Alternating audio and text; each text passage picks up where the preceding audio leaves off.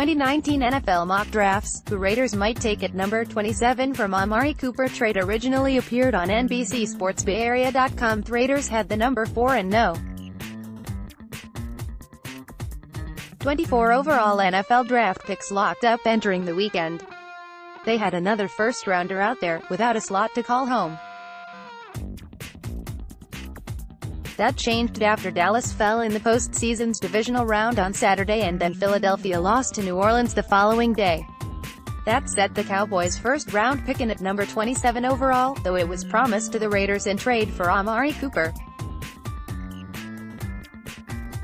NFL mock drafts have been approximating that Cowboys-Raiders pick recently, even though the slot was uncertain.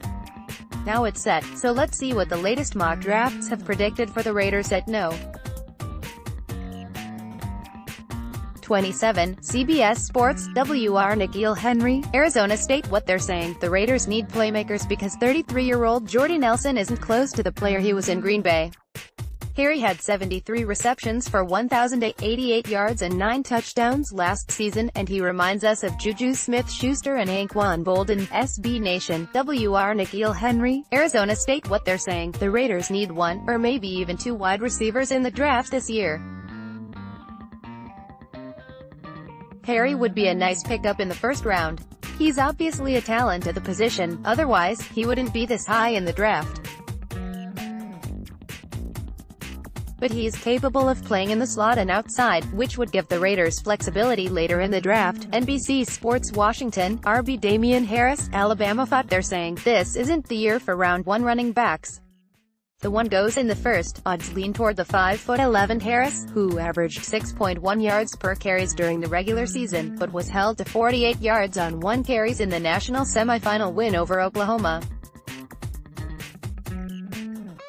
Bleacher Report, RB Josh Jacobs, Alabama thought they're saying, a running back in the first round?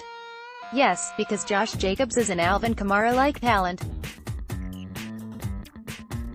The junior bruiser for Alabama has excellent balance, through contact, great power and has shown the agility and speed to make an impact outside the tackle box. Jacobs is also a soft-handed receiver who has shown in the Alabama scheme the skills to torch defenses in a variety of ways. The Raiders need to get better at virtually every position, including running back. Jacobs will take pressure off quarterback Derek Carr and should have plenty of holes to run through given the strength of the team's offensive line. Pro Football Focus, S. Taylor Rapp Washington What they're saying, the defensive overhaul continues with Rapp who has the versatility to play all over the field.